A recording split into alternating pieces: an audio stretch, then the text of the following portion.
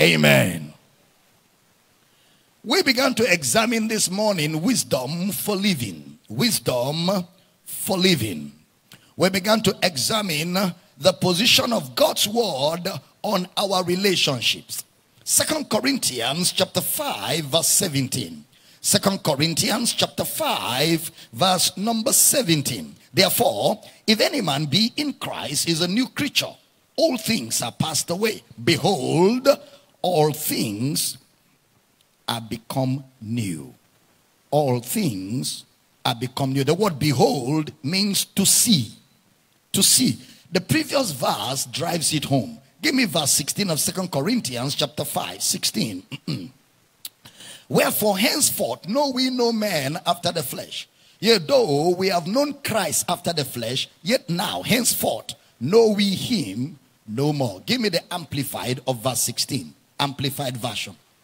The amplified says, consequently, from now on, we estimate and regard no one from a purely human point of view in terms of natural standards of value.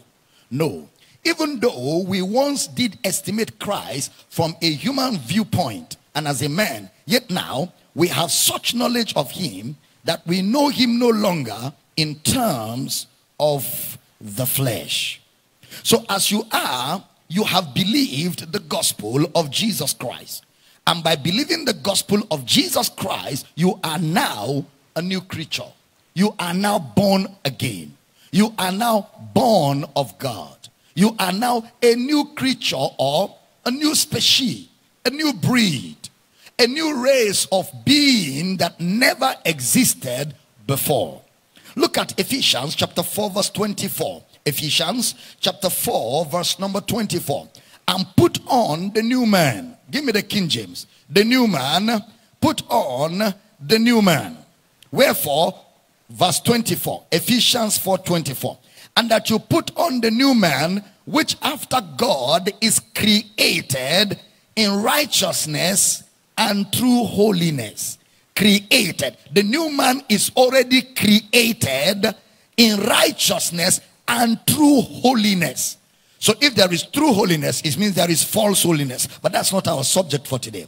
True holiness. Give me the amplified of verse 24 of that same Ephesians chapter 4. The amplified now. And put on the new nature, the regenerate self, created in God's image, God-like, in true holiness or true righteousness and holiness. So that scripture lets us know who the new creature is. So if you are born again, you are created in God. You are created like God. You are born of God. You are born after God. The Bible says all things are passed away. All things are become new. The new creation is a son of God. First John chapter 3 verse 1 and 2. King James Version. First John chapter 3 verse 1 and 2. Behold, what manner of love the Father had bestowed upon us, that we should be called the sons of God.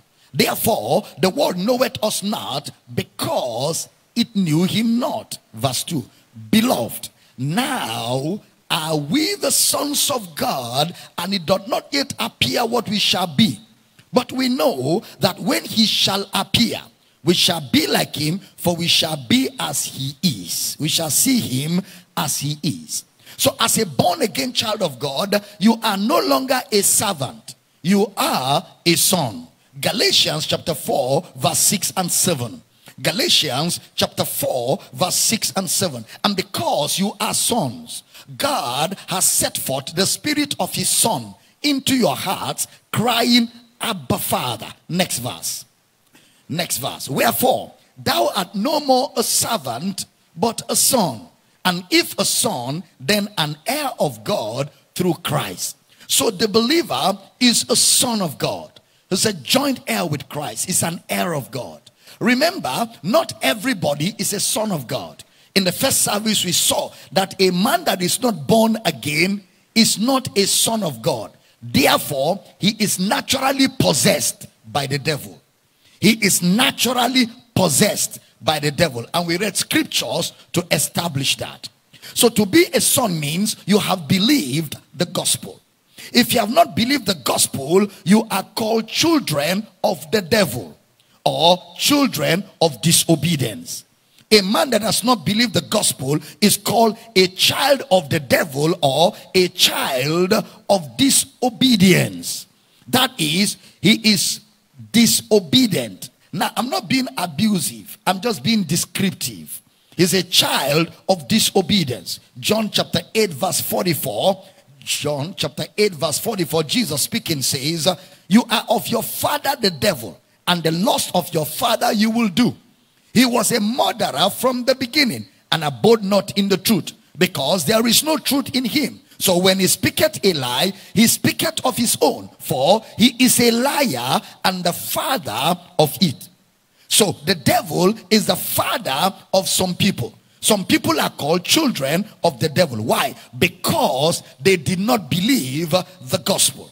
But we are children of God because we have believed the gospel. John chapter 1 verse 12. But as many as receive him, to them gave he power to become the sons of God, even to them that believe on his name. John chapter 3 verse 16. For God so loved the world that he gave his only begotten son that whosoever believeth in him should not perish but have everlasting life. Next verse. Next verse 617.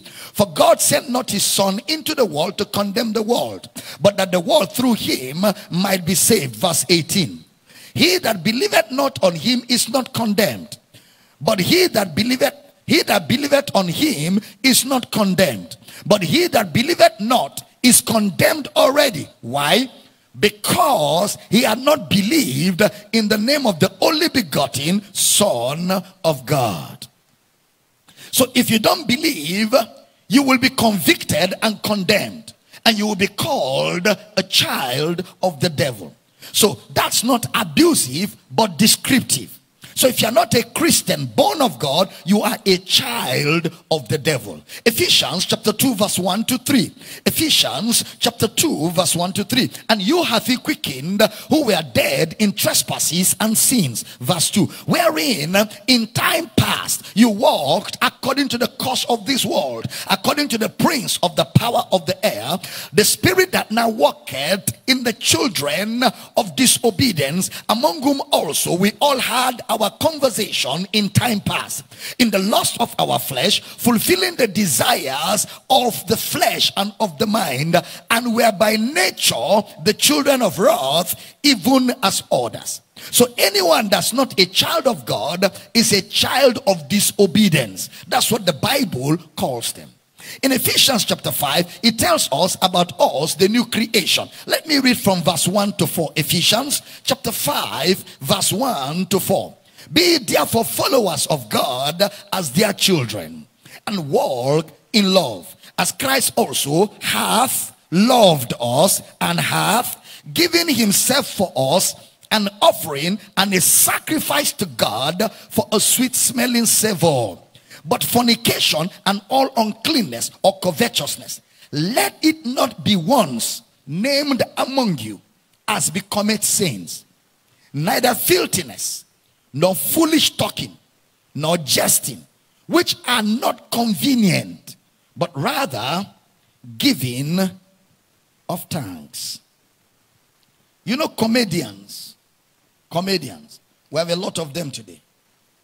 You discover that most of their jokes are not convenient. They are just foolish jesters. Foolish, that's what the Bible calls it. Foolish jesters.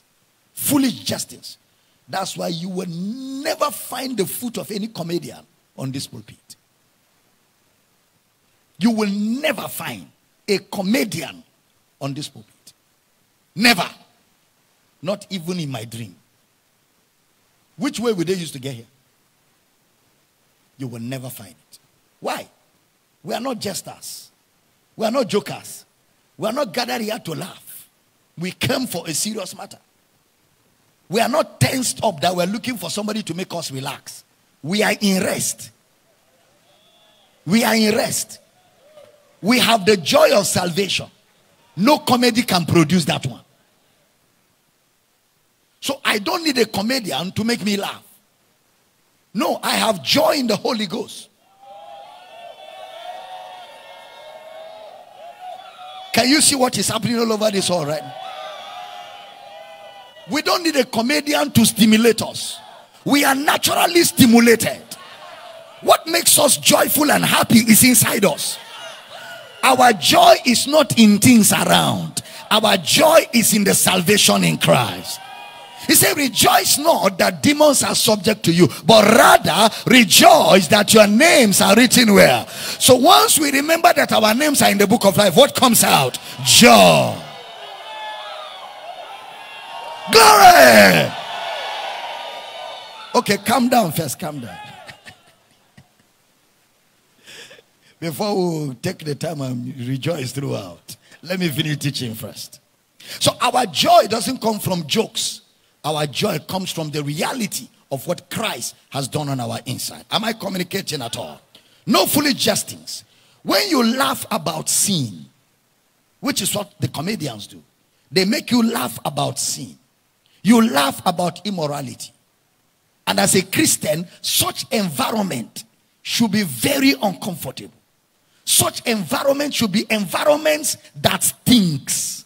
Environments you cannot find conducive. Because that's not the Christian life. No foolish jesting. Because we are no fools. So we cannot give ourselves to foolishness. Are you understanding what I'm saying here? Yeah, we can't give ourselves to foolishness. Look at that same Ephesians. Let's read verse 5 and 6 of that same chapter. Ephesians chapter 5. For, for this you know that no whoremonger, no unclean person, no covetous man who is an idolater had any inheritance in the kingdom of Christ and of God. Next verse. Let no man deceive you with vain words.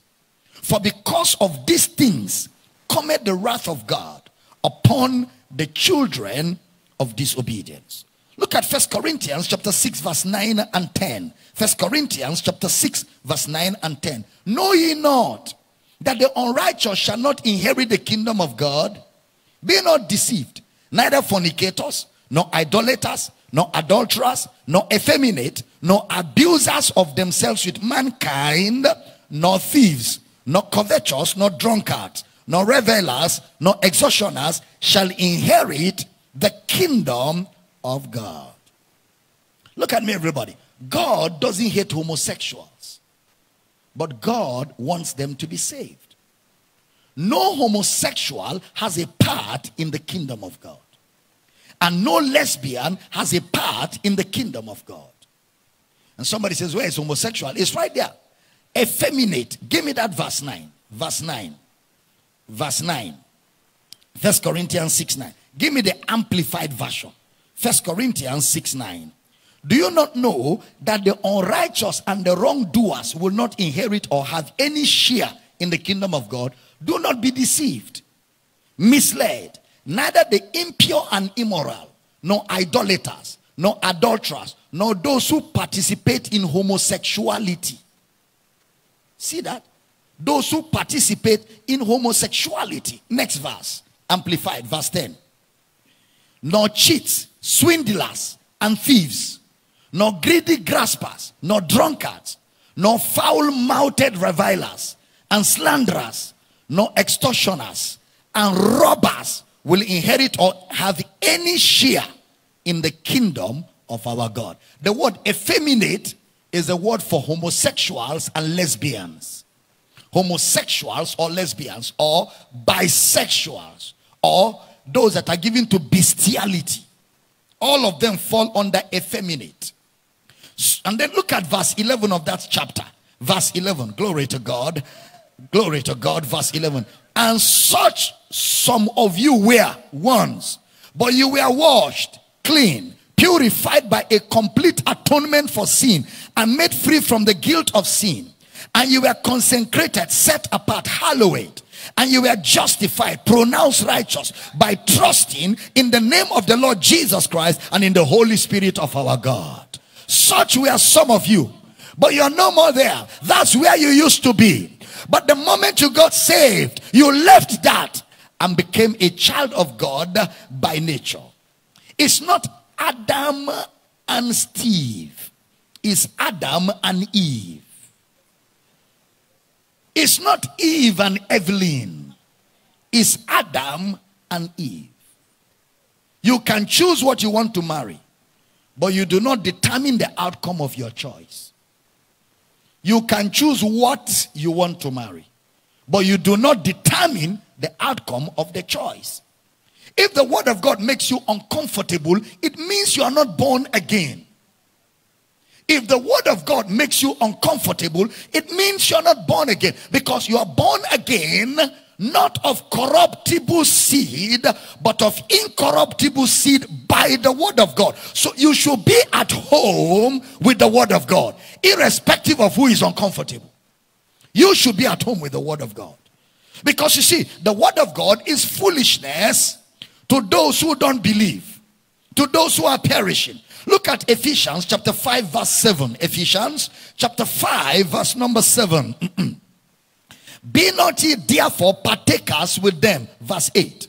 For you were sometimes darkness, but now are you light in the Lord. So walk as children of light. Verse 9. Glory to God. For the fruit of the Spirit is in all goodness and righteousness and truth. Verse 10, verse 10, verse 10. Proving what is acceptable unto the Lord. Verse 11.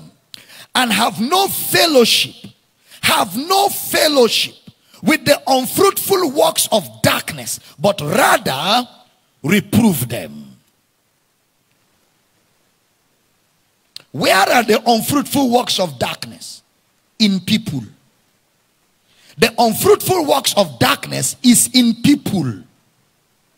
In people.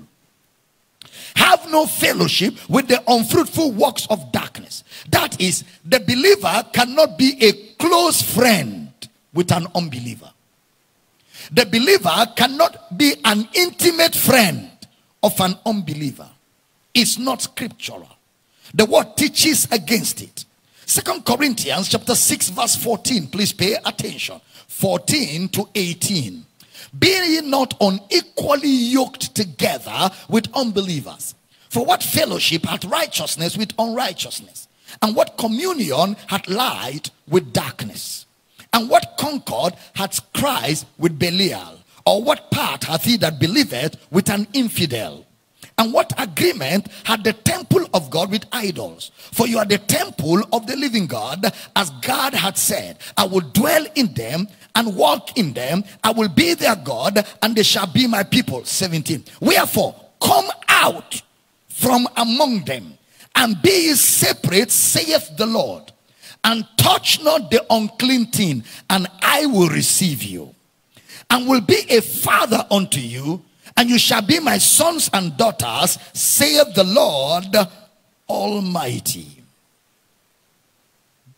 Unbelievers, come out from among them. Them who? Them who do not believe the gospel. Come out means be distinct, be separate. Come out, be distinct, be separate. That is, there's a sanctification we have in Christ. There is a sanctification we have in Christ. And there's a sanctification of our daily lives by the word. There's a sanctification we have in Christ. And there is a sanctification of our daily lives by the word. Where we are practically walking in the word. The more we learn, the more our steps are ordered and directed. The more we learn Christ, the more we learn the word, the more our steps are defined.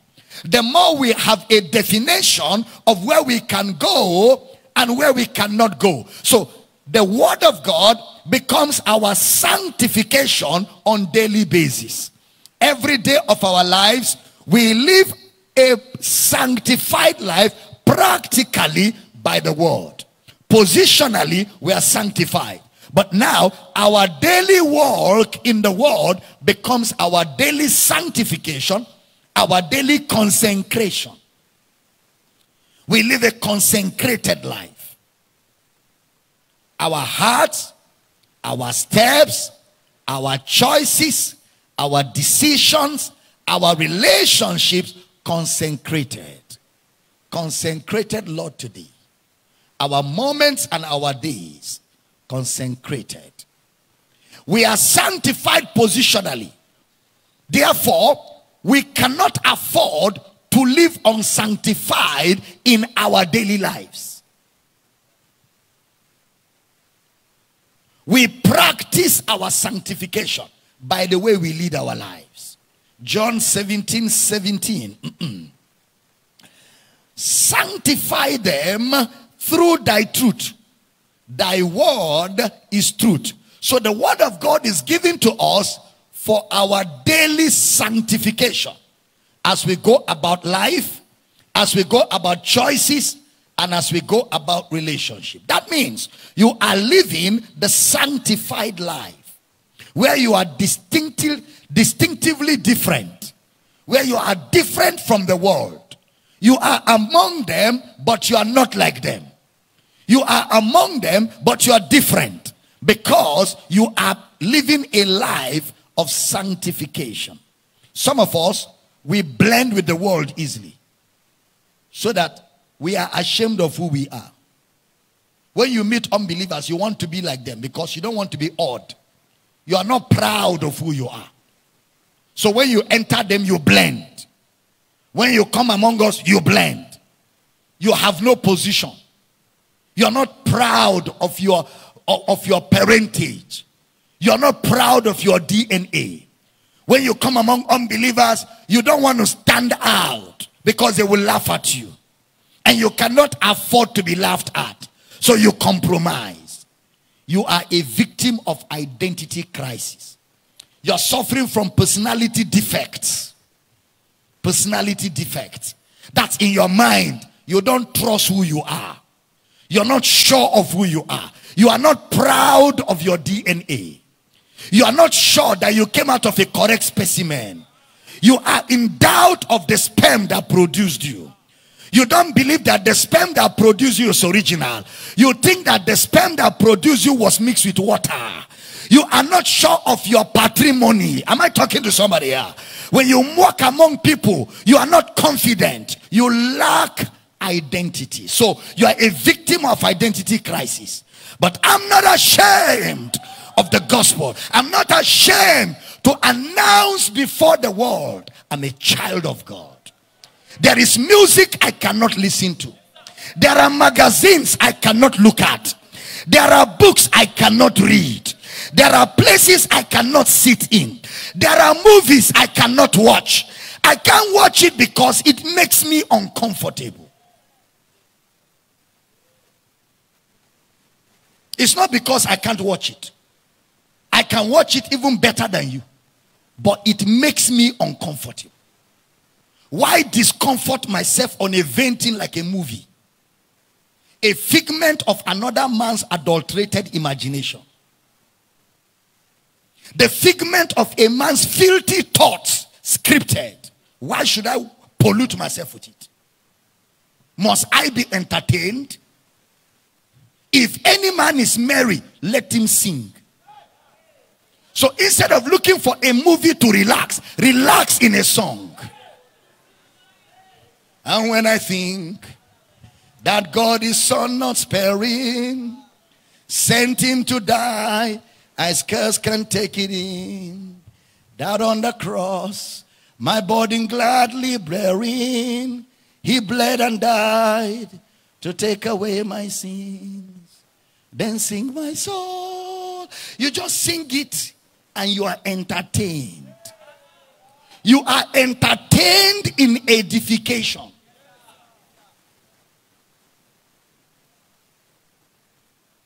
You are in this world, but you are not of this world.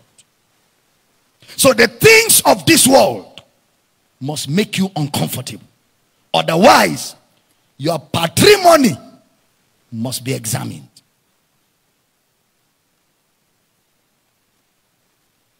I'm teaching good. I'm not ashamed that I'm a child of God. I'm not ashamed that I am holy. I'm not ashamed that I am righteous. If it makes me a Jew guy, by all means, I'm a Jew guy. If it makes me analog, by all means, I am analog. Why should I be digitalized in immorality? Why should I be digitalized in impurity? If it makes me unpopular, by all means.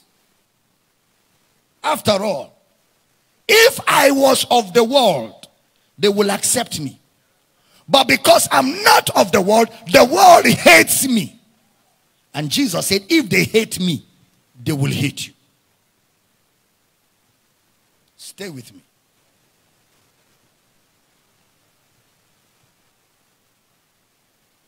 Some of us compromise is easy. And we don't feel bad about it. How can light try to be darkness? What are you looking for in a fellow who doesn't believe that Christ died for our sins? What are you looking for in him? He says, Come out, come out from among them and be ye separate. That is, be distinct. Let them call you names. Be separate. You cannot fellowship with an unsaved person. You cannot fellowship. The day you are comfortably fellowshipping with an unbeliever, you need to ask yourself questions. I remember a particular sister in my school days. An unbeliever approached her for marriage. She came back to me crying, weeping.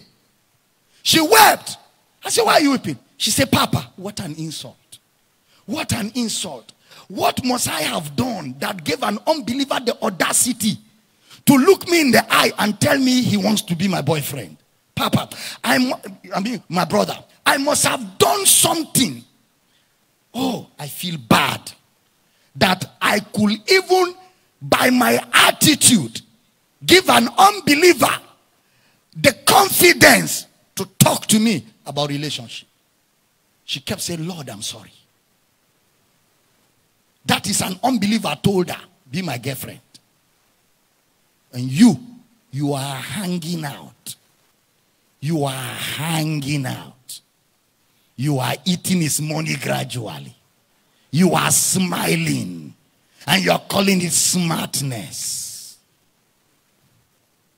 Something is fundamentally wrong. The lady said, I must have done some. Ah, an unbeliever is not afraid. He's not even afraid.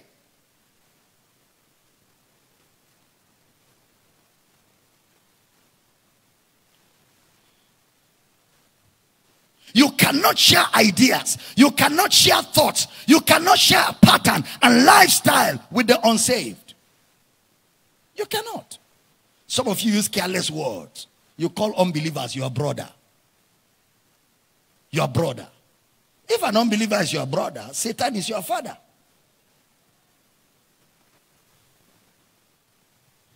You should love people, but you cannot share fellowship with people who are not Christians. You cannot.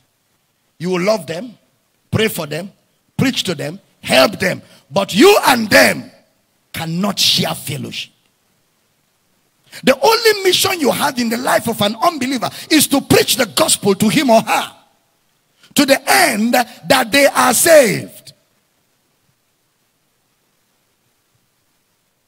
The longer you stay with an unbeliever as a friend and you don't preach to the person, there's condemnation upon your life.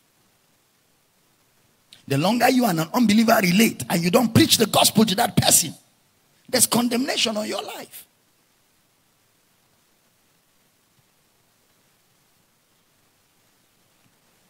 I'm not saying in your place of work. I'm talking about your friend who comes to your house always. And you have not found time to say, Hello, my friend. We are not from the same source. Oh. Our parentage is different. And our destination differs. So we are not to have friendship with the world. James 4 4. Friendship with the world is enmity with God. First John 2:15. Love not the world, neither the things that are in the world. For all that is in the world is the lust of the eyes, the lust of the flesh, and the pride of life. So from the day you got born again, the unbeliever becomes darkness to you. Darkness. Our relationship with the unsaved is that they are darkness, we are light. They are darkness, we are light. Somebody shout it very loud. I am the light of the world. Can I hear you shout it one more time? Shout it for the last time. An unbeliever is not your brother. We can be neighbors. We can be blood brothers. We can be colleagues. But we are not brothers. My brothers are in Christ. My brothers are in Christ. So there's no way I can marry an unbeliever. Fa- it should not even be considered. There's no way I can marry an unbeliever. There's no way I can be in a serious relationship with an unbeliever towards marriage. How can a non Christian like you? How? How can a non believer, a non Christian, how can he like you? Does Satan like you?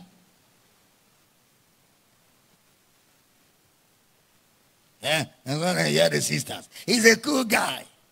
He understands me. He was there for me. He was there when my father died. You are just accepting to join your father soon. No one understands me like him. All the brothers in church are too spiritual. I like guys that are cool.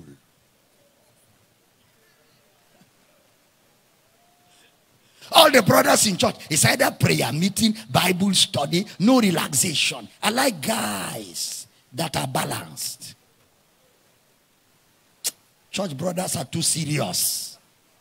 It shows what an unserious human being you two are.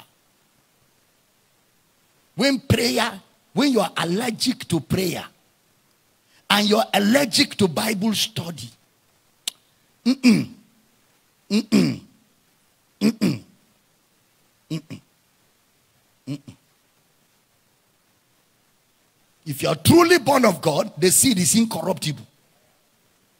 But when your own is being corrupted, mm-mm, I won't say it. I like him. You know, when, when I used to do counseling for marriage, I heard things in this life. I like him. I will save him.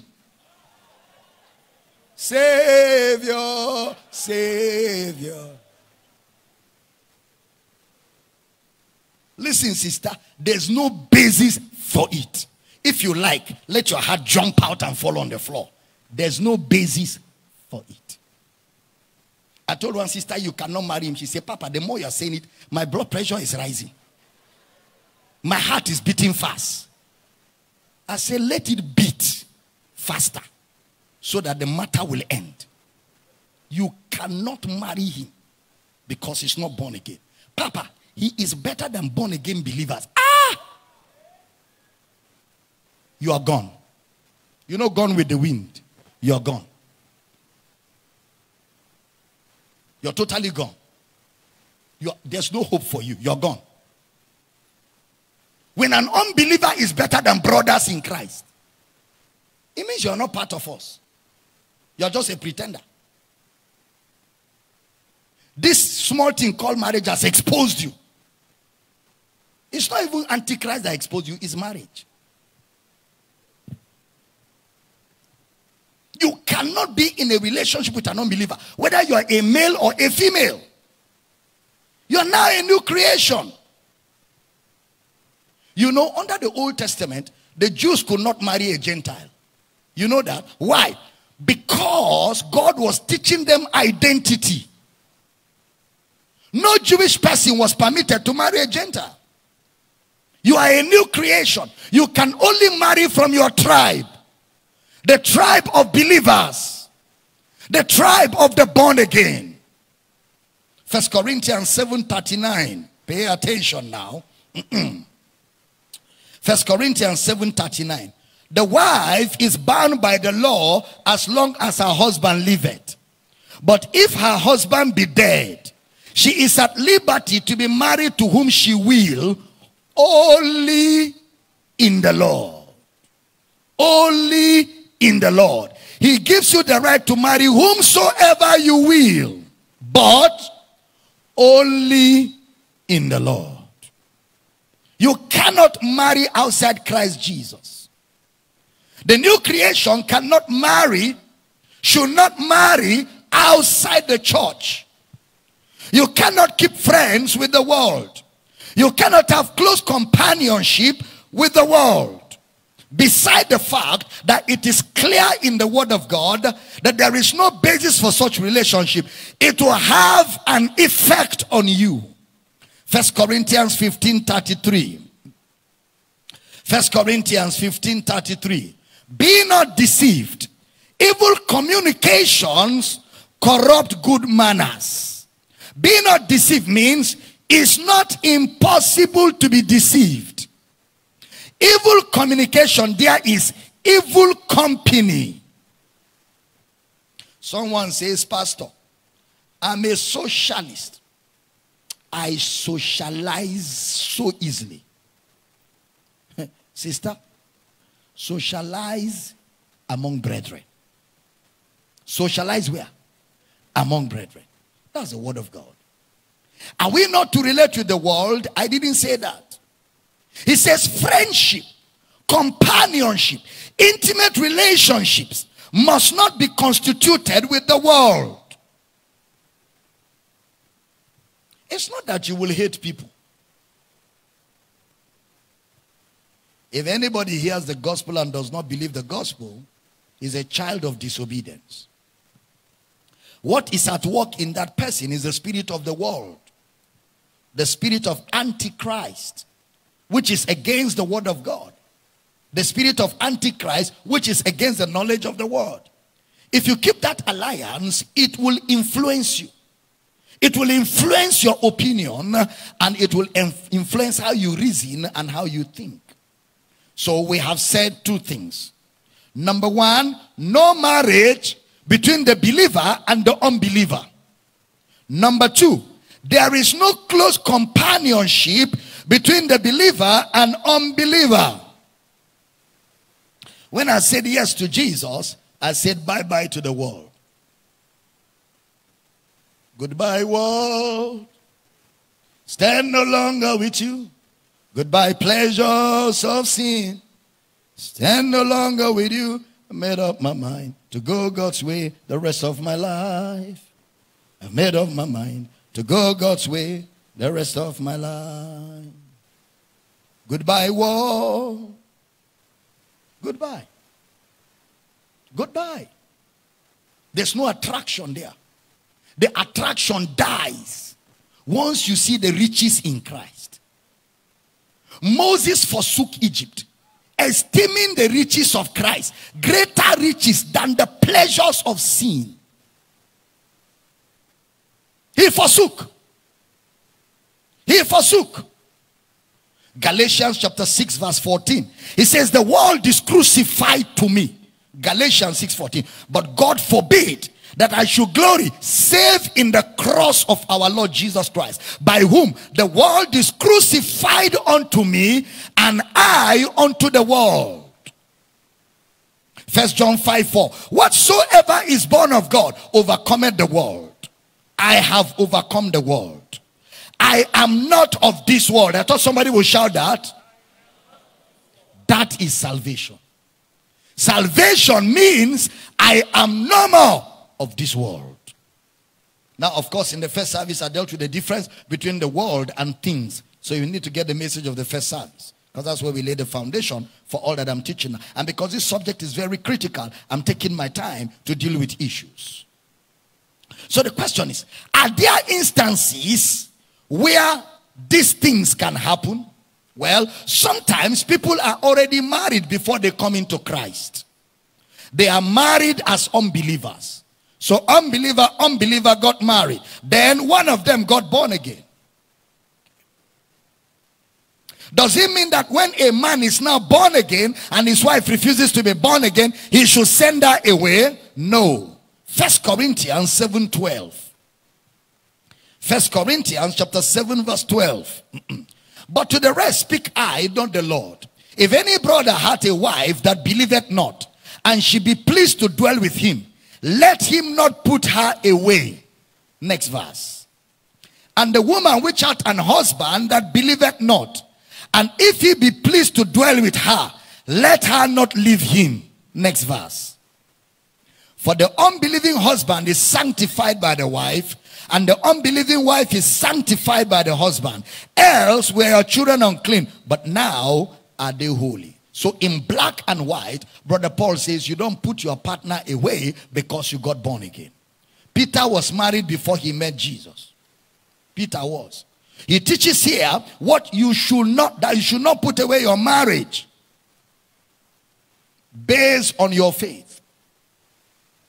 If the other party be pleased to dwell with you.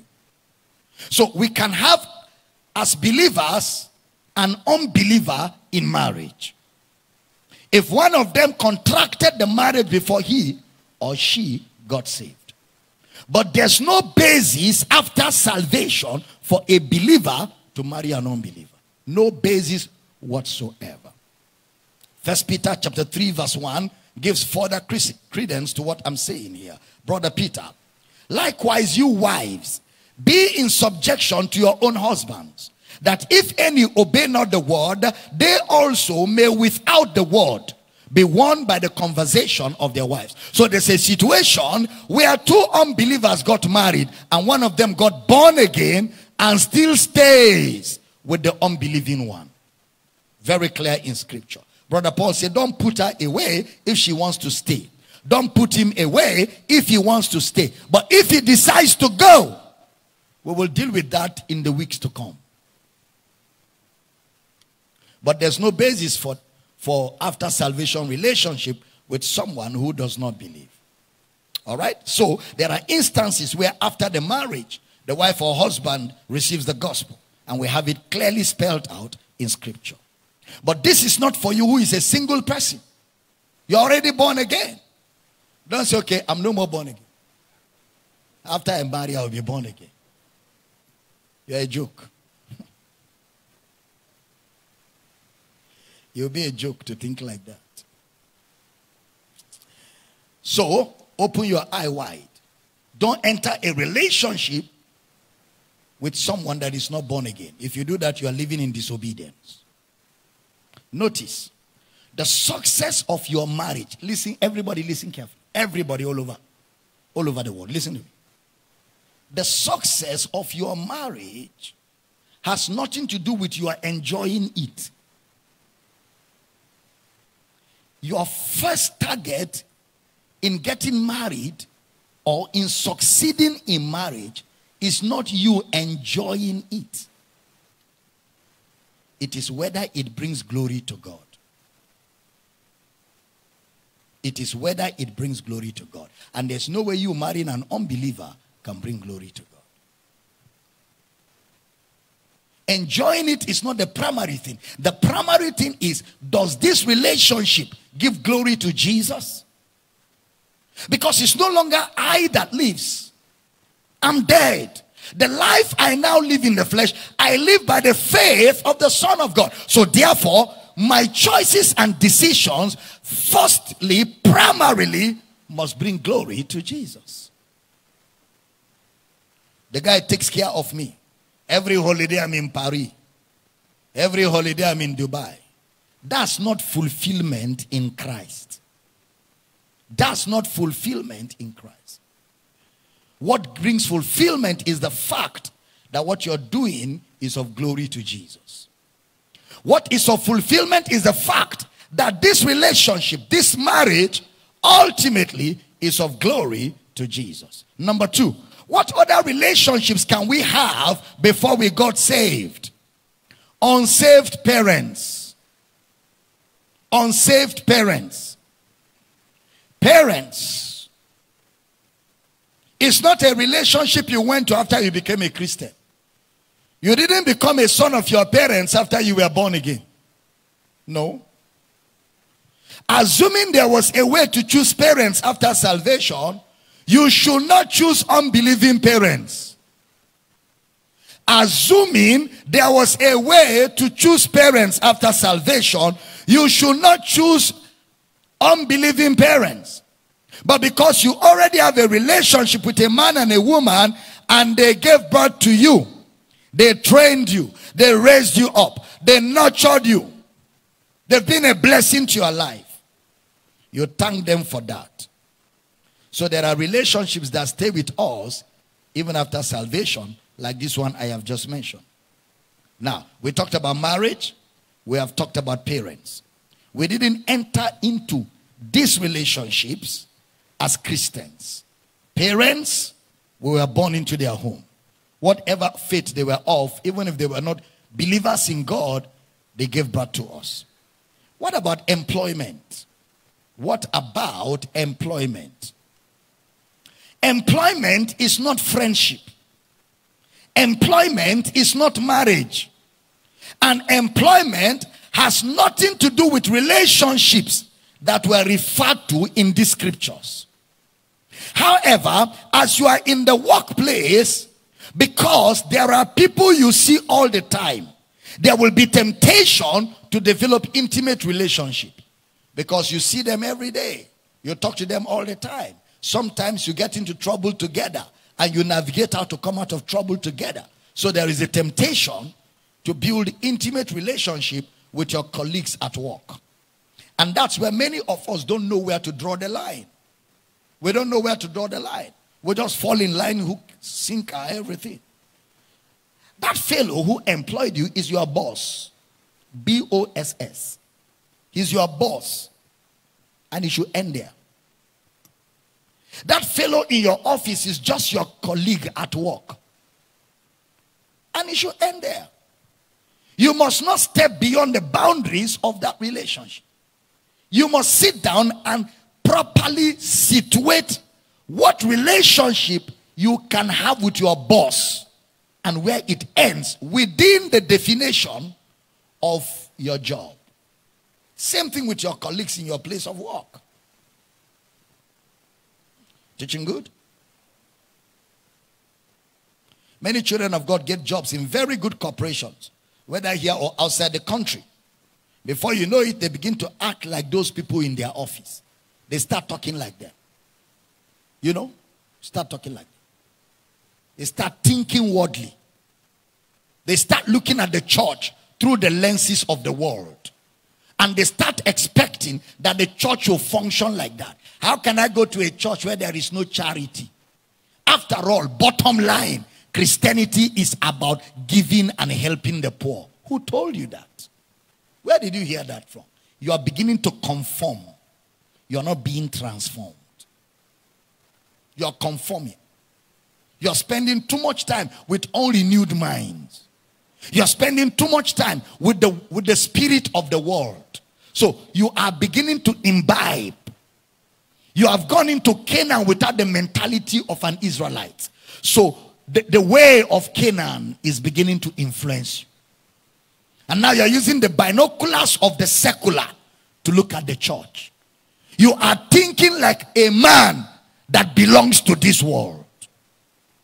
And under pressure, uh, that's why a lot of brothers, and I'm glad many of them are watching me online. A lot of our brothers who went out of the country to go in search of jobs, they, they lost their way. They just entered bush. They are inside bush. All of them are moving in the bush. It's gradually when they start seeing light, they start coming out of the bush. Why? Because they get swallowed by the world system. You see somebody that was very dedicated and learning the way of Christ and growing in the knowledge of Christ. He leaves the country, goes to another country, he starts doing four jobs. Four jobs will not allow him read his Bible once in three months.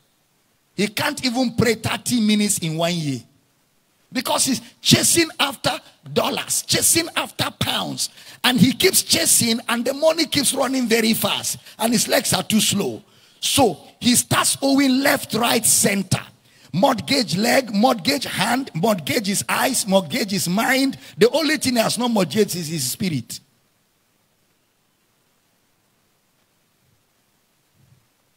So they are lost. They've adapted. The world has consumed them. And even some of us, not only those who go abroad, some of us get too secular. Too secular. In pursuit of things that when you leave this world, you leave them here. They are no more thinking Christ. They are lost. Everyone is a product of influence. Everyone is a product of influence.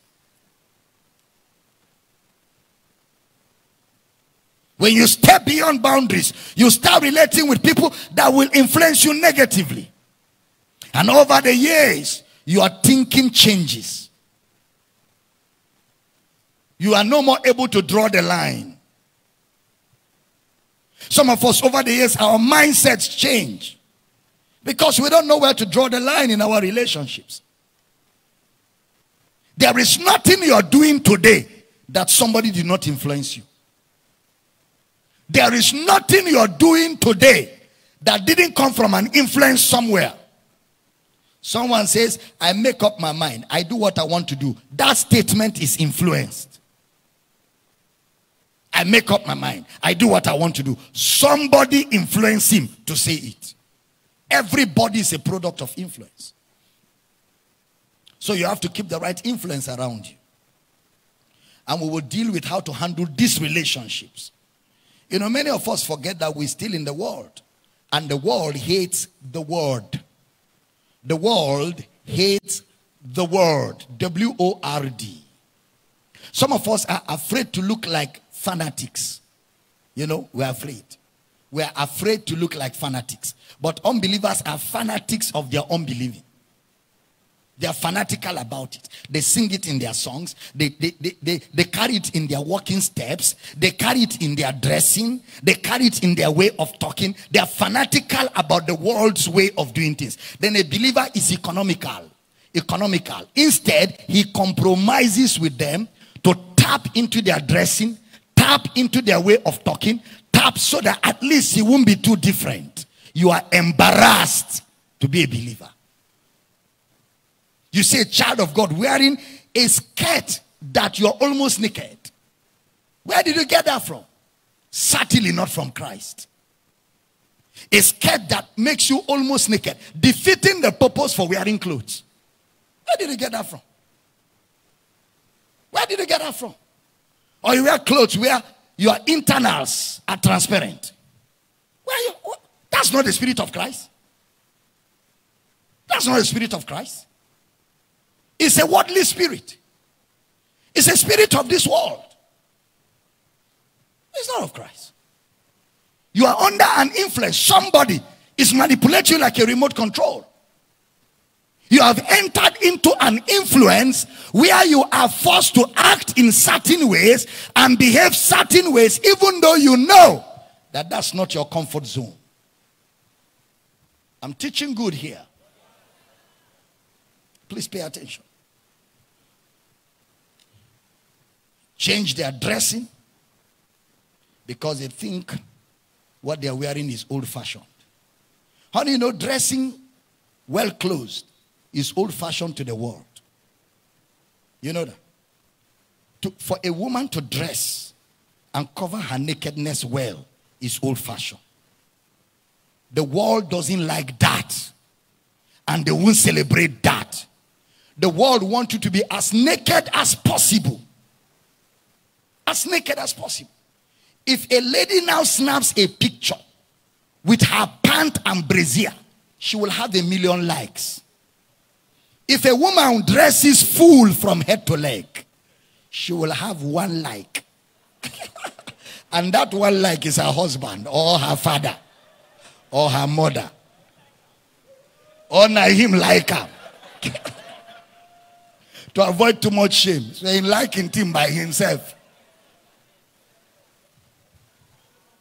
If I'm teaching good, say I hear you. Don't be depressed, harassed, abused by Facebook likes. They don't like you. You are a fool. Mumu. Your mother wasted her school fees on your head. If your approval is likes on Facebook, you are a waste of resources.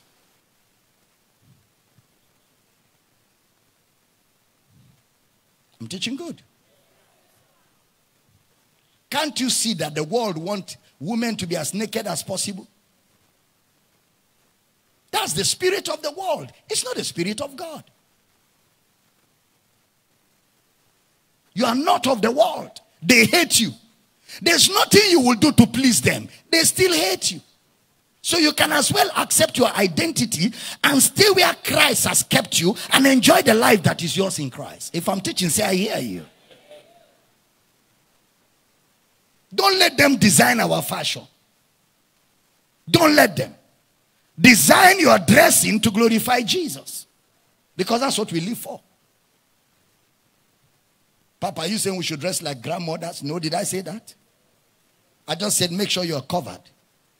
Don't show us your nakedness. It's only when food is exposed that flies will feast on it. Once you open food, flies will feast. But if food is covered, those flies are not born. A word is enough for the wise.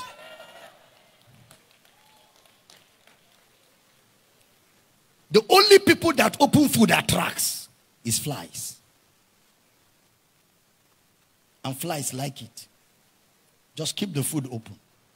We will gather there. We will urinate there. And we will pick as much as we can pick. And after flies are finished, ants will come. All of them will gather where food is unprotected. Teaching good? That's a parable of the elders. Say it very loud. I am not of this world.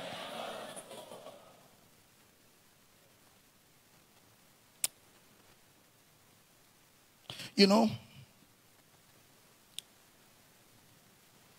if you keep seeing people all the time and you talk with them always, before you know it, you start talking like them. Is that true? The people that you spend most of your time with influence your speech. The new creation must know how the word teaches him to deal with each kind of these relationships. The word of God is the wisdom of God. James chapter 1 verse 5 says, If any man lack wisdom, let him ask of God that giveth to all men liberally. So you must ask the Father, how do I go about things in this place? You know, there's a strange verse I'm going to read before I close where Jesus said some things that will help us. Jesus said, Father, I have not asked you to take them away from the world, but keep them from the evil one. How does God keep us from the evil one? By the word. By the word. Sanctify them through thy truth. Thy word is truth. So it's by the word of God that we live a sanctified life among people. It is the word of God that keeps us sanctified in that context among people. Look at Matthew chapter 10 verse 16. Matthew chapter 10 verse number 16. Behold, I send you forth as sheep in the midst of wolves. Be therefore wise as serpents and harmless as doves. Wise as serpents and harmless as doves. We are in the midst of wolves. That's where we are. This reminds me of Numbers, the very set of people sent to spy. That land is theirs, but the activity in that land is not theirs. The promised land God gave to them, but the activities in the promised land were not theirs. The Bible says Moses sent them to spy, to go and look at what was there. He didn't send them to look at the behavior of the people because the people's behavior did not belong to them, but to see the things that God had provided for them. What does it mean? In this world, we are pilgrims, we are spies. We are spies. We are pilgrims in this world. We don't belong here. Here, we have no continuing city. We don't belong here. We are strangers. We are pilgrims in this world. We are not to adapt or adopt people's culture or behavior. You know, some people come to church. When they come to Christ, they say, eh, you know, the way you people are doing things in the ministry does not agree with our culture. What? The day you receive Christ, that your natural culture was, was ended. You don't come with your culture to Christ. Mm-mm. In Christ, we have our culture. Are you hearing me? Because in Power City, we have Americans, we have Brazilians, we have Tanzanians, we have South Africans, we have Ghanaians, we have Canadians, we have Europeans, we have uh, Africans, we have Ghanaians, we have uh, eh? Nigerians, we have Indians, and each of these people have their culture. But once you enter Christ, you throw it away and blend. The word of God becomes our culture. Don't bring your culture here. Don't bring it here. It will not be tolerated. It will not. Yeah. So that you don't make us to be serving your culture, to be worshiping your culture. No. We are here to worship Christ, not to worship your culture. And don't bring your culture here. The dividing line here for culture is the word of God. What the word of God does not teach, we don't do it.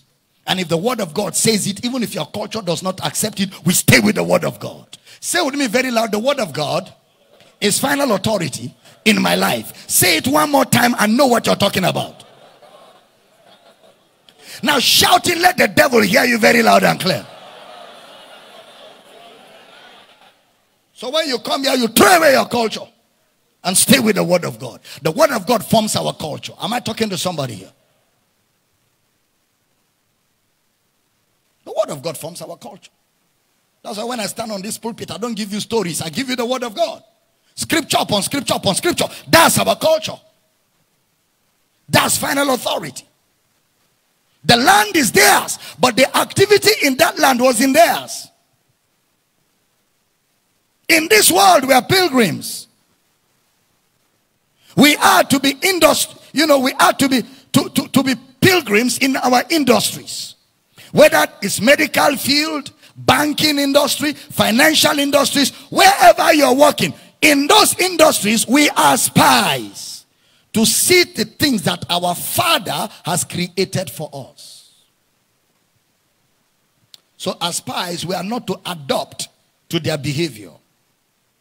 We are not to adopt to their culture. We are not to adopt to the thinking pattern of the unsaved people. We are to think from the word. We are to function in the word of God. Friendship with the world is enmity with God. But we have been sent into the world to preach the gospel. Am I teaching good? And while we are doing that, Bible tells us that we are like sheep in the midst of wolves. We have to be wise. We have to be gentle. The wisdom of God is the word of God. We have to know what the word of God says. We have to practice the word of God in our profession, on our streets, and in every relationship that we keep. When God was going to destroy Sodom and Gomorrah, he told Lot, Get out of that land. And Lot's wife became a permanent ingredient in our pot of soup.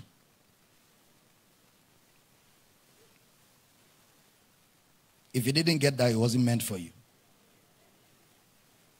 I mean, this world, but not of this world. She looked back at the things of this world. My relationships with the world, I must be very careful. Because the world is governed by the devil. How can you, as a Christian, grow spiritually when what you listen to most of the times are the things of this world? Every time you listen to music, they are things of this world. You know, secular music. That's all you play all the time. Bam, bam, bam, bam, bam, bam, bam, bam. I, I, you know, when I hear this music, they say, what it's doing in my body. You are adapting. You are adapting. Very soon we'll be looking, you know, be looking at you and wondering what has become of you. You are sanctified because you are in Christ. But you, you can't be living a sanctified life and adapt with the world. A friend of the world is an enemy of God. You know, Brother Hagin, Kenneth Hagin said, we must treat the things of this world with care because there's a spirit in the things of this world. There's a spirit at work in the things of this world. Everything that this world offers you, there's a spirit at work in it. Every comedy, every music, every movie, all of them there's a spirit. Are we together? There's a spirit. There's a spirit. There's a spirit. And the world people know how to get it across. They package the movies, they package the music in ways where they're able to communicate their ideology. Communicate what? I'm not hearing you. There's an ideology behind all of this. There's an ideology. And don't be gullible. You must know that you are in a system that hates you. Keep your life, keep your house pure, keep yourself pure. If you then be risen with Christ, hallelujah.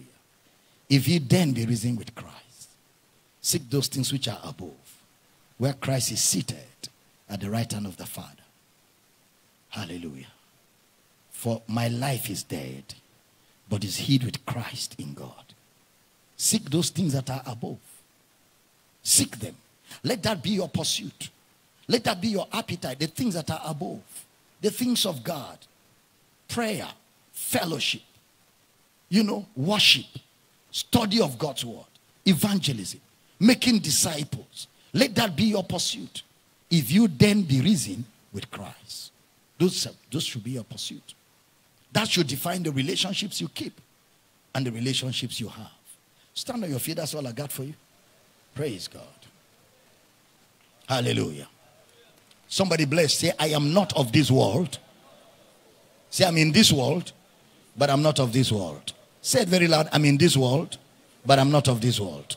Say, in the name of Jesus, I am not comfortable with the spirit of this world. I have zero tolerance for the spirit of this world. I discern the spirit of this world and I refuse. Say it loud. I refuse. Say it louder. I refuse to have fellowship with the unfruitful works of darkness. I am light. Darkness cannot be comfortable where I am. Therefore, as light, I shine my light before men so they see my good works and glorify my Father which is in heaven. I didn't hear a powerful amen. Say, let us walk in the light as he is in the light. For he that walketh in the light has no occasion of stumbling. Your word is a lamp unto my feet and a light unto my path. So let's walk in the light. Let's stay in the light. Let's speak in the light. Let's dress in the light. Let's relate in the light. Hallelujah. I said, Hallelujah. Let me ask all of you a question. Can you relate with an unbeliever in the light? No, answer me now. Can you relate with an unbeliever in the light? Why? It's darkness. No matter how much you bring light to darkness, the man is darkness. You can only relate light with light. In case you're here, you've been thinking of marrying an unbeliever, go and stop that nonsense. What did I say? Shout it very loud. What did I say? Stop that nonsense. Say, you know, she's from a very rich family. See the poverty from your village that is following you. Marrying a woman for her wealth is the height of stupidity. That means you have accepted that you are a slave, self imposed slave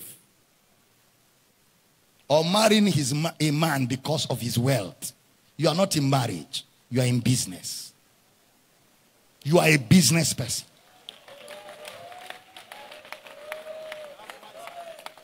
Are you understanding?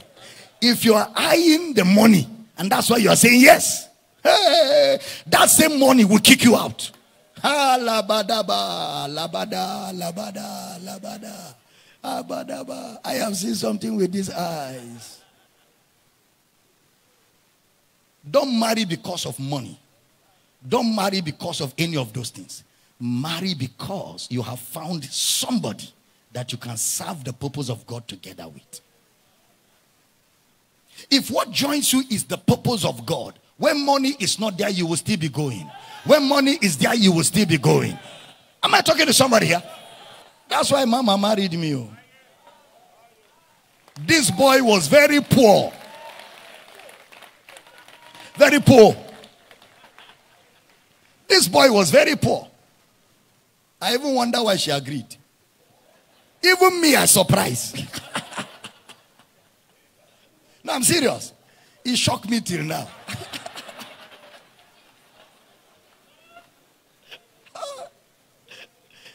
this me. I'm telling you, it surprised me up till today. Because the only thing I had apart from poverty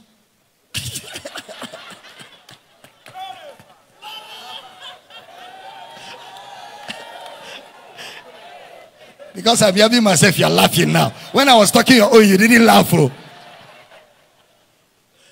The only thing I had apart from poverty, and I'm not joking, God is my witness, was the purpose of God for my life. The only thing I had to show was ministry. Finish, oh, ministry. This ministry I'm still doing was all I had that she was saying yes to. That purpose of God. Because she too had a purpose. She wanted somebody to fulfill it with. And that's why we've come through thick and thin. We've come through challenges, turbulence. We've come through rough times and smooth times, happy times, sad times, joyful times, challenging times. And we're just there like glued eternally. Because what brought us together is still there. If you marry a man for good times, when bad times come, it will end the marriage. Because life is an adventure in good and bad times. That's what life is. Life is an adventure in good and bad times. Billionaires become poor. Poor people become billionaires. Life is unstable. Bible calls money uncertain riches. So you don't marry for wealth, you marry for purpose. Are you hearing what I'm saying? In fact, let me shock you one more. You don't marry for beauty. If you marry for beauty, beauty is vain. That is, after a while, beauty will be empty. Because if you marry a woman for beauty and a heavy misunderstanding comes where you cannot agree, suddenly she's no more beautiful. You will even be wondering, what did I see? What? But if it's for purpose, after all is done, you look back at why we came. It is still alive. You keep the journey going. I'm teaching good. Don't worry, we shall enter marriage. If you are a husband here and you, you, you leave your wife at home next Sunday first service, now you do yourself. I'm not saying you should come to first service because I don't have where to keep all of you. But what I'm saying is the moment first service start, Go to Facebook. Go to YouTube. Only say, honey, come, come, come, sit down. Bring cup of tea, make with a drink. First and second service. Next Sunday. Because I'm going to settle down on husband and wife. But Wednesday is going to be another one because we're going to start entering into all of those quarters. See, I'm teaching you all this because I don't want to do counseling. I don't want to be doing counseling. So let me counsel you Exactly. Let me settle all the matters. Say, I hear you. Because knowledge and understanding shall be the stability of your times. So that you can have a stable life with armed with knowledge and understanding. Say, I hear you. Yeah. Have a stable life. You won't fail. You won't fail. Oh. Somebody say, I hear you. And if you know marriages and relationships, friends of yours that are struggling with their relationships, ask them to connect, ask them to tune in. Even today, ask them to go and watch what I taught first and second, because this foundation will set the pace for everything I'll be saying. Are you blessed? Are you excited? Say, I'm not of this world. I have the Spirit of God. I'm born of God. I'm a child of God. I am the light of this world. Therefore, my light continues to shine in Jesus' name. Lift your right hand, Father. I pray for everybody in this service, those online, on television, on radio. I thank you for grace that abounds over this family. Thank you that revelation knowledge keeps growing. Everyone connected online, on radio, on television, the grace of Jesus is multiplied upon your life. I decree that in the name of Jesus, you grow in knowledge, you grow in revelation. I decree that the enemy has no occasion of interfering with what God has done in your life. In the name of Jesus, I decree decree right now every ungodly appetite that is trying to develop inside you, it withers in the name of Jesus. Every unrighteous appetite that is trying to find expression on your inside withers from the root in the name of Jesus. Every ungodly alliance is broken in the name of Jesus. Every ungodly friendship and relationship is terminated in the name of Jesus. And I decree that by the finished work of Christ, you are sanctified you are set apart. You are sanctified. You are set apart for God's purpose. In the name of Jesus. Thank you, Father, for answered prayer. I pray that relationships here that are of God that have been struggling, that through these teachings, your people will come to a place of stability. Thank you for answered prayer. In Jesus' precious name. And every believer says that amen on a note of final letter. Are you blessed this morning? I want to take up your your, your honor offering, the offering you give in honor for the word of God. And I'd like you to package it quickly. When we give, we give in honor. We give us a sense of responsibility, a sign of maturity and growth. A, a sign that we have matured to a place where we're embarking on the responsibilities that are ours in the advancement of our Father's kingdom on the earth. And then also today is partnership service. So I want to quickly pray for all the online partners all the campus partners around the world and all the radio partners, everybody who partners with us, I want to pray for you right now. Remember that partnership gives you an opportunity as a responsible child of God who have discovered the riches of God's grace, who has discovered the unsearchable riches of God's grace, the mercy of God, who have discovered what Christ has done for you that you cannot afford. And you have decided to partner with Christ in taking his saving message to the ends of the world. That's what partnership does. And this you do every month through your finances, where you deliberately set apart a particular chunk of your monies, where you honor Christ with it by supporting us so that we can do all that we do on television, radio, online, and around the world. And every time you do this, I want you to know that you are laying up for yourself treasures in heaven. You're laying them up. Brother Paul says, My crown and rejoicing are the souls that are won. When you give us money and we get the gospel out and people are changed, people are blessed, lives are saved, people's lives are turned around, you become a partaker of, their, of that reward through your giving.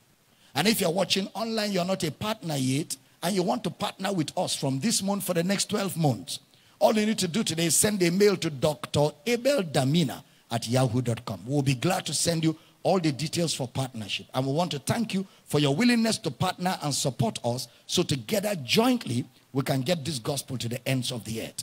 There's not one single person that can fulfill the mandate. Not one. It takes a whole team of people to get this gospel to the ends of the earth. I want to pray for all the partners around the world. Father, we pray for all the partners all over the world, online, on television, on radio, those that are watching right now in the campuses, all our partners who partner with this ministry every month through their finances, sacrificially, to see to it that this gospel continues to change lives and continues to reach the ends of the earth. I pray for all the partners today that in the name of Jesus, my God supplies all your needs according to his riches in glory. I decree that you are enriched in all things. Every partner of this ministry, I speak the favor of God over you. I speak direction. I decree that you have opportunities, ideas, concepts, insights. I decree that your needs are met. I decree that everything that you're believing God for is released right now. Receive the favor of God. Receive protection. Receive preservation. I decree that you be robust in health. You are kept by the power of God. You are far from oppression. No weapon of the enemy prospers against you. Throughout this month, you will make progress. You will advance in your career. You will advance in your businesses. In the name of Jesus. I thank you, Father, for answered prayer over all our partners around the world. In Jesus' precious name. And every believer says a powerful amen. All right, so partners, you can go ahead, send all your partnership commitments. The banking details are scrolling and uh, all over the various platforms. We love you and we're glad you're a part of this. I'll be joining Mr. Michael Bush in the next two minutes for Ask the Counselor in the next two minutes. But before then, lift up your offerings. We want to pray and just honor Jesus for the word we have had today. Father, thank you for everyone giving an honor offering to honor the finished work of Christ this afternoon. Our givings are an expression of our gratitude and worship as we honor your word. And we ask the blessing upon everyone giving today. And we decree that needs are met supernaturally. Thank you for the peace that passeth all understanding. In Jesus' precious name. And every believer says a powerful amen. Online family, television, radio. I'll be joining Mr. Michael Bush. But remember, Monday, Tuesday, we continue teaching you in the evenings, Monday, Tuesday. And then on Wednesday, I'll be back here to teach live on relationships, wisdom for living. You don't want to miss the midweek service for anything. Get more people to be part of it. And you know, we love you guys. Thank you for supporting. Thank you for sending all of your offerings to help us do the things we do for the kingdom. Remember to register for Power Bible School. And remember to register for Homecoming 2021 right here at Power City. All the info are on my Facebook page. You can go there, get details. You can call the numbers for more information. We love you guys. Looking forward to seeing Ask the Counselor and looking forward to connect with you live on Wednesday at 6 p.m. GMT plus one. And until then, enjoy the grace of Christ. Let's celebrate viewers around the world for being a part of this service this morning. Glory! Amen. Woo! Glory to God forevermore. Amen and amen. Hit it. Let's do it as we give. Any- For these, all the messages and books by Dr. Abel Damina, please call plus 234 806 800 9939 or email powercityoffice at gmail.com.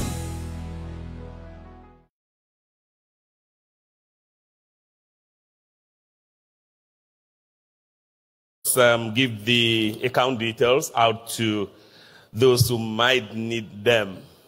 Power City International is the account name. There are three banks. There's FCMB, there is uh, Zenith, and there is UBA.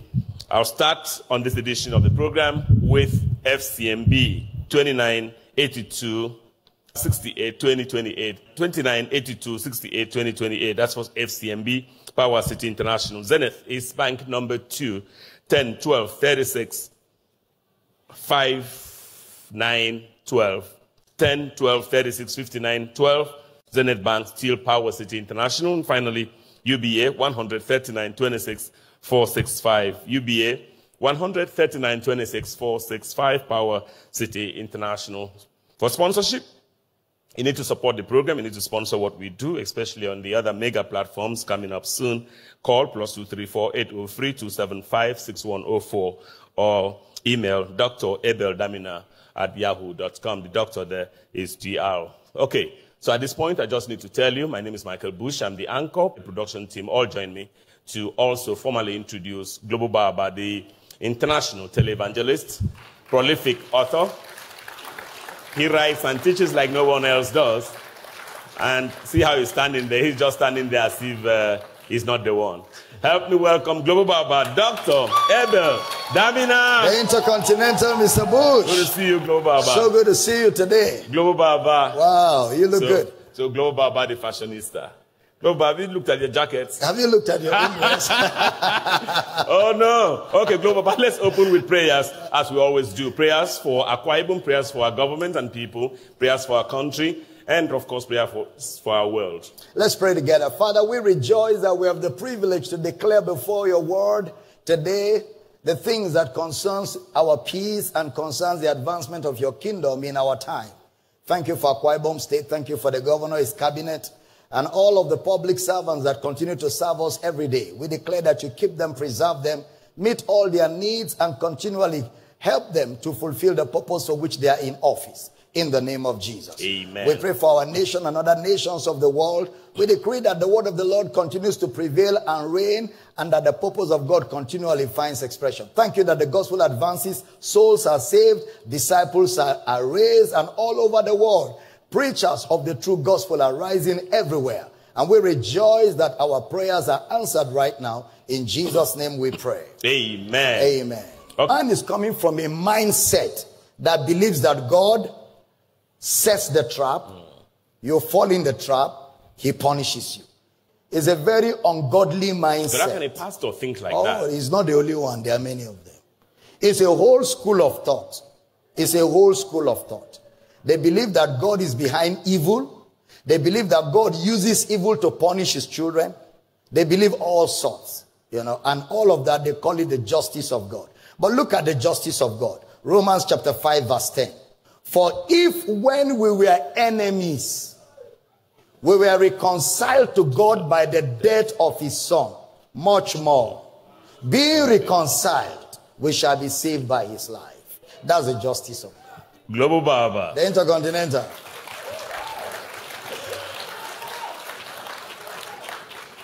Okay, two more anonymous takes, then we uh, find our way to some far flung continent of the world, and that will be Australia or Oceania. We'll be going there in a moment.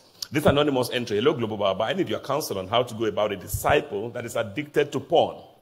He has been on it for more than seven years, sir. Whenever he tries to stop it, he always finds himself in it again. He has made so many promises to himself to stop, but he couldn't. He even fasted because of this addiction, but all to no avail. What should I help him do? Well, if you have somebody, a disciple who is addicted to porn, put less emphasis on the porn.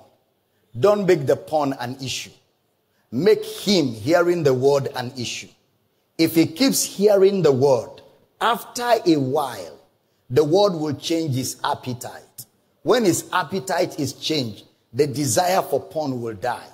On his own, he will walk out of it. But if you make the porn an issue, you will torment him and torment him, and he doesn't have what it takes to be free from it. So look at this. We all, with open face, beholding the glory of God as in a mirror, we are changed into that same image from glory to glory, even as by the Spirit. So the Spirit of God does the work when the man focuses on Christ. Ultimately, it is Christ that brings the change. Okay. Our last anonymous entry on this edition of the program. Hello, Global Baba. May you please explain to me in details the counsel of God according to Psalms 81 1. Is this more like the board of directors? No, that's thinking like a natural man. The counsel of God simply means the entire plan, purpose, the, the, the, the program of God. And the counsel of God is salvation. Okay. That's the whole counsel of God. God's whole plan. You think counsel? Yes, that counsel, Counsel. is God's counsel. Oh. Oh. Oh. Oh, Global Baba. So that counsel is God's council. The counsel. counsel of God. oh my. That is what, what is God's intended plan. What is God cooking to carry out? The only thing God is, has been cooking from the beginning of time is to save man. Okay, Global Baba, you know, just about um, five seconds, 10, 15 max seconds back in time, you answered a question that I think that same answer would hold for this man. All the way in Australia and Oceania, that's almost like the end of the world. Yeah. Greetings in the name of our Lord Jesus Christ, Dr. Damina. My name is Janice Garrido. I am from the island of Guam, located in the Mariana Islands in the Pacific. For students of geography, Guam is the largest island in Micronesia. Okay, so I've been following your teachings and Sunday services for some time now, sir. I would really like to purchase your teachings and DVDs and reading materials if possible. I also want to be mentored by you to be equipped, and so I can in turn equip the next generation. Please let me know how I can order, pay, and receive your teachings. Thank you. Also, I need counseling on how to handle a situation. I learned recently that my granddaughter has chosen lesbianism. At first, I was very disappointed with her and started reminding her of how it was an abomination in the eyes of God and that she should have known better than to give in to this evil. She subsequently distanced herself from me. She's my eldest granddaughter, Dr. Damina. I love my granddaughter and I miss her. How can I love her and not offend God at the same time? How do I love her and welcome her to my home and back into my life without offending God? How can I preach and remind her of her sinful ways? Please help me to approach her and love her the way Jesus would. Maybe I could call to reconcile, being that it's a new year and a new beginnings. Janice Garrido in the island of Wow. Guam. Well, Janice, well, what you do is, first of all, our office reach out to you on materials, how to get them, and all of that, and they will be shipped to wherever you are in Australia. Now, secondly, what do you do with your daughter? Uh, the first thing to do is to call her and, re- and reconcile, apologize to her. You know, it's, it's true that as a parent, it's heartbreaking for you to see your daughter getting involved with another woman, uh, you know, and uh, all of that. But remember that lesbianism is not more than lies and stealing. Sin is sin. What she has done is not uh, the unpardonable sin. It's still one of the sins that human beings get involved with. So look at it like that and pull her back in. Love her. Don't talk about the lesbianism. Just love on her. You know, show her as much love as possible. Tell her how much God loves her. Tell her how much God accepts her. Tell her what Jesus has done for her. Tell her what Jesus is to her, who Jesus is to her. Tell her that even no matter what she has done, she is loved and accepted. Preach the gospel of salvation. Get her born again. And then just open her up to the teaching of God's word. What is happening to your daughter is she's suffering from identity crisis. She doesn't know who she is. So as you reveal Christ to her and as she begins to see Christ and his love, suddenly she will realize who she is. And she will rise up like the prodigal son and say to herself, I'm bigger than this and walk away from it. That's what you should do. Love on her, call her. Remember, it's the love of God that leads us to repentance. So when you demonstrate that love on her, it will make it easy for her to embrace God's love and to embrace the gospel. Fantastic. Yo, Baba. Right now, back in the live church here, back in the live audience, Mr. Kevin Festus, MBA, sent in a question. Global Baba, I want to know the difference between the Holy Ghost and the Spirit of God. You said there was no Holy Ghost in the Old Testament, but there was Spirit of God. What was the work of the Spirit of God, if not the same as the Holy Ghost? Please, can you expatiate? All right, yeah, the Holy Ghost is the Spirit of God. So this is what it was. In the Old Testament, the Spirit of God was not given. Is that word? The Spirit was not yet given because that Jesus was not yet glorified. That means the Holy Ghost was not living inside anybody. But the Spirit of God was moving all over, you know, but he was not living inside people because Jesus was not yet glorified. So when Jesus rose from the dead, the Spirit was now shed forth and given. It was at that point that men could begin to function, you know, with the Spirit of God on their inside. So that's why nobody was born again until Jesus rose from the dead. Because born again is a work of the Holy Spirit. The Holy Spirit in. But the Spirit was, you know, he was hovering. He was all over the place, walking through times, walking through figures, symbols to reveal the plan of God until the resurrection. The moment Jesus rose from the dead, bam, men can get born again. By being born again, the Spirit comes in. And when the Spirit comes in from Pentecost, people began to speak in tongues. So that's Okay. the difference. Kevin Festus, MBA, that one for you. Dr. Morphia, you are next. He writes, Dear Global Baba, kindly throw more light on the scriptures. First John 3 9. This question is because as believers, sometimes we may fall into sin, which of course we have forgiveness for. Whosoever is born of God doth not commit sin, for his sperma, his seed, abideth or remaineth in him, and he cannot sin because he is born of God. What it means is you have a nature that does not have sin as a lifestyle. It doesn't mean you may not make mistakes, but those mistakes are not your natural habitation. It's like a sheep that falls into mud and a pig that falls into mud. A pig in mud is at home. A sheep in mud is not at home. The sheep will start crying till you bring it out. So when a person born of God sins, you can't be comfortable in sin. You can't have pleasure in it because the nature you carry, sin is not your environment. That's it. That's what John was talking about. Okay, the last live audience question. Global Baba, in relation to the question you asked in the first service, if anybody has been saved without receiving the Holy Spirit, kindly please explain what happened in Acts chapter 9, verse 2. Were those believers not saved before Paul laid his hands on them? It's a live question from the live audience, and this is going to be the last one I will take on this edition of the program. Kindly explain what happened in Acts chapter 9, verse 2. Were those believers not saved before Paul laid his hands on them? Uh, those believers were saved because Pentecost had happened. Remember, Paul and Jesus never met. That's why Paul said, I was of one born out of due season.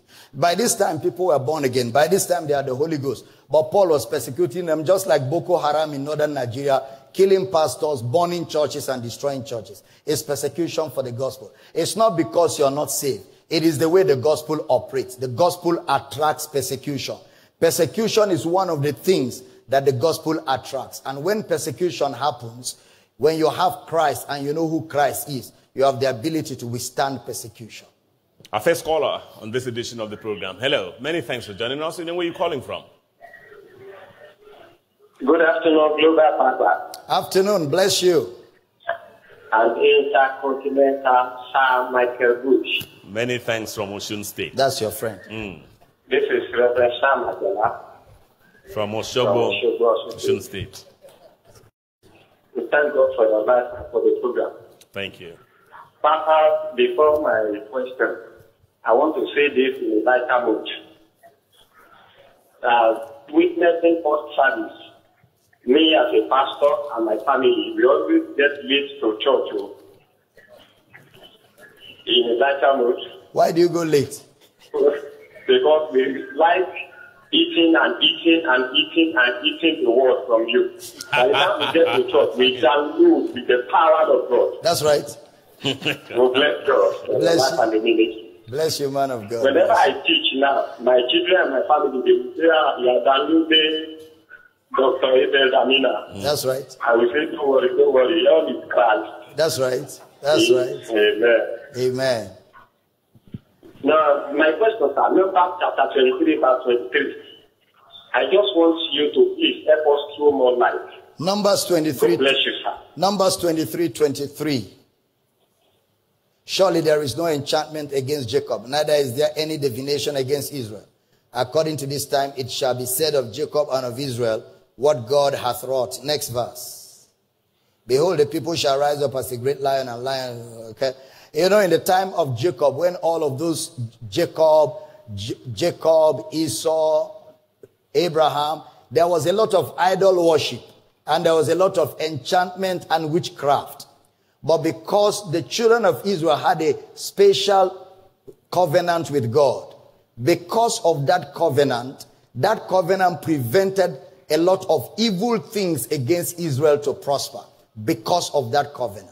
So it is in the strength of that covenant that Moses was talking about the fact that no enchantment against Jacob. Remember, Jacob's name was changed to Israel, meaning a prince with God.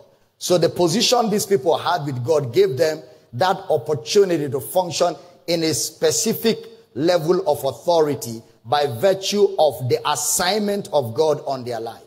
So that's what he was talking about in Numbers. Okay, so Global Baba, let's run back to the continent of Australia and Oceania and try to fly straight to the UK. That is the continent of Europe. Dear Honorable General, Global Baba, that's, that's a new one again. That's another one for you. Honorable General. They keep bringing new ones. Oh no, Global Baba. Global Baba, I discovered you a few months ago. I love the way you do exegesis on the scriptures. Please stand with us in prayer for a fruit of the womb. I desire your mentorship program also. Furthermore, Please expatiate on this subject. Are there only nine spiritual gifts in the Bible? What about Ephesians 4, 8 to 12, Romans 12, 6 to 8, 1 Corinthians 12, 8 to 12? Thank you and God bless you more. David Mandy in the UK. Well, David Mandy, those gifts of the Spirit in Corinthians, where Brother Paul listed them all out, he was showing you how those offices function with the gifts. Because within those nine gifts are all the offices apostle, prophet, evangelist, pastor, teacher. They operate with those nine gifts. So, yes, there are those nine gifts, but there are other gifts. Like giving is a gift of the Spirit, like ruling is part of it. In the book of Romans, he talked about other gifts that can be found in the church for the edifying of the saints. Okay, so we, we make I'm, progress. I'm supposed to pray for the fruit of the womb. the womb. Oh, okay. Oh, Father, we, we pray for this family right now. We stand in faith for the fruit of the womb. Amen. And we declare that you receive that miracle. Amen. In Jesus' name. Amen. Amen. Base caller, I apologize for keeping you longer than necessary on the line, but your time starts now. Hello. Hello, uh, good afternoon, Papa. Afternoon. Uh, good afternoon, Mr. Bush. Good afternoon. I'm Lord Dumo, calling from Power City, Okobo.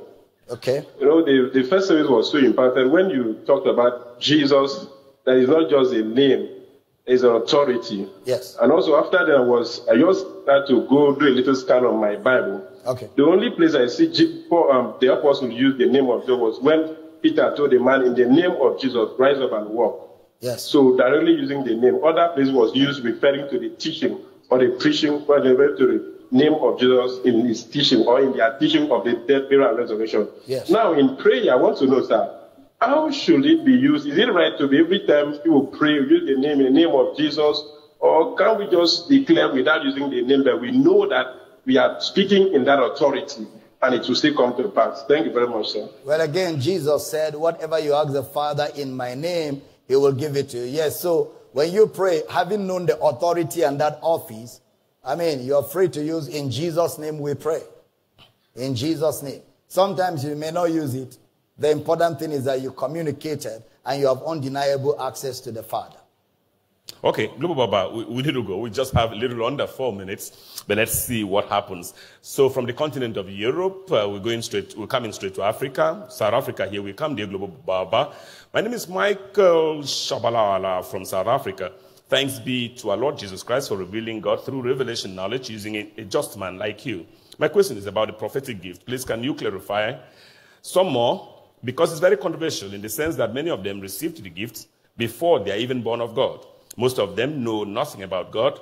Some even starting ministry based on the gift they have, they have, but no knowledge of the Bible. What kind of gift is that, Global Baba? Who are they working for? Thank you so much, Global Baba and Mr. Bush. Well, there's a gift of, uh, of, of the Spirit, and there's also the gift of divination and sorcery. And sometimes the operation of sorcery and divination may look like the gifts of the Spirit. Because there's a woman in Acts chapter 16 who was following Brother Paul and saying, These men are the men of the, of the Most High who show us the way of salvation. The prophecy was accurate. But the Bible says, after two days, Brother Paul turned and said, You unclean spirit, out of her. And the spirit left her, and she could no more prophesy. So, you know, that's there's that spirit of, of, of divination. Global Baba. Yeah, they- we need to go, but we still can um, take this one. Um, Global Baba, my name is Emmanuel Lazarus. Doesn't tell us where he's writing from. Says my questions are: I've heard many preachers say that rapture is, is expected to happen three years from now, or not more than ten years from now. So, sir, how is this true in the light of the gospel? And and two, what happens to the people on earth after the rapture? Leave those people alone. Leave them alone. Those are all these uh, theories, you know. Somebody, that's how somebody came out last year and said Jesus is coming December, last December the 9th. And the people that he told did a video. And I called the people and said, on the 10th of December, we will have this discourse. Hmm. So when I called them on the 10th of December, they laughed. They said the man said that, no, that he miscalculated the calendar, hmm. that it will be February. Hmm. All of those people are just doing uh, trial and error. I'm telling you, nobody has the accurate date right now. But when the time comes, we will know the time. We will know the time. We will have an understanding of the season and the time. It will not take us by surprise. But to start calculating calendar dates is out of scriptural teaching. We need to go. We need to go, Global Baba. Yeah. Um, so we're spending the night in South Africa. Yes. But we need to go. Tomorrow is another day. So on behalf of my production team and everyone, This is Michael Busher, anchor, inviting Global Baba Dr. Abel Damina to take us home. Global Baba. The Intercontinental. Now listen to me, everybody. Thank you for giving us the opportunity to serve you the grace of God. You don't want to miss our broadcast right now on XLFM 1 to 3 and 3 to 5 on Yo FM. And this evening, 8 to um, 9 to 10 on Inspiration and of course 10 to 12 on uh, Heritage. Heritage FM. Tomorrow morning, 11 to 1 on Radio Akwa 1 to 3 on XL, 3 to 5 on Yo, and tomorrow evening, 6 to 8, we're back here live on Comfort FM. We love you guys and always a joy to serve you the grace of God. And looking forward to seeing all of you tomorrow. And until we see you tomorrow, enjoy the rest of your day and be blessed. Goodbye from Uyo, Nigeria.